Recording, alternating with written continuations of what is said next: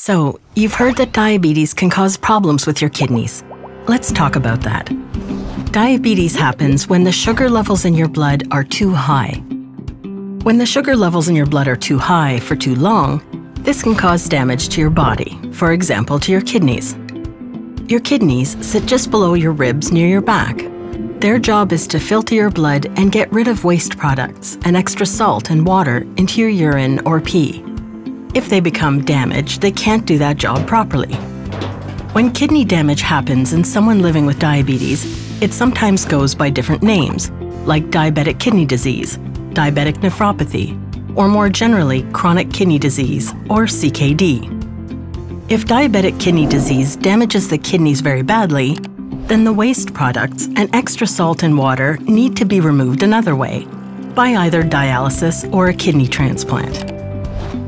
Dialysis involves artificially filtering the blood several times a week, and a transplant involves receiving a new kidney from a donor.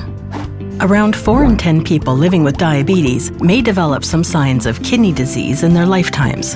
But most people with diabetic kidney disease don't end up with kidney failure that needs dialysis or a transplant.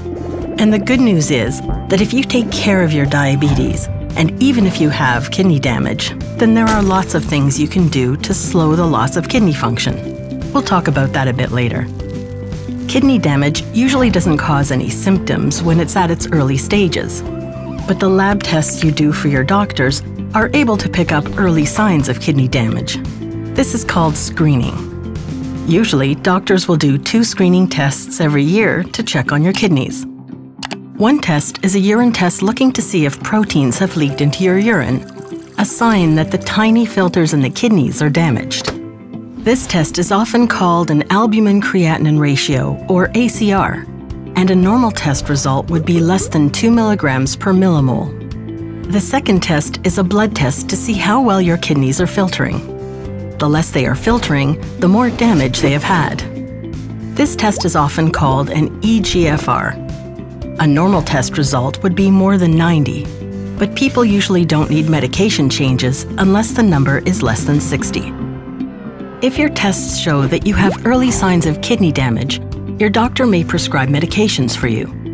These may include blood pressure medications, particularly pills called ACE inhibitors or ARBs, medications that help control your blood sugar, including medications called SGLT2 inhibitors in some people, cholesterol medications called statins to help keep your heart healthy, and they may ask a dietitian to give you special diet advice. Here's some tips to help keep you and your kidneys healthy. Most important is to keep your blood sugar under control and to keep your blood pressure under control. Talk to your diabetes care team about your targets to control your blood sugar and blood pressure. Take your medications as prescribed and keep your healthcare appointments. Don't smoke. Maintain a healthy weight and stay physically active. Follow the recommendations of your dietitian. Sometimes, if you get sick for another reason, then the medications that you take can actually become harmful talk to your healthcare team about a sick day plan. It's normal to worry about your future health from time to time.